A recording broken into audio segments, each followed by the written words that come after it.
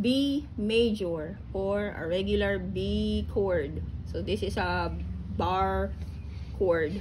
So place your index finger on all five strings except the sixth string on the second fret. Middle finger on the fourth string, fourth fret.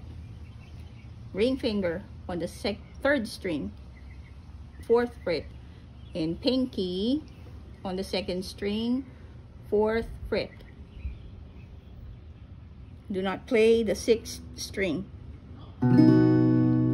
B major or a regular B chord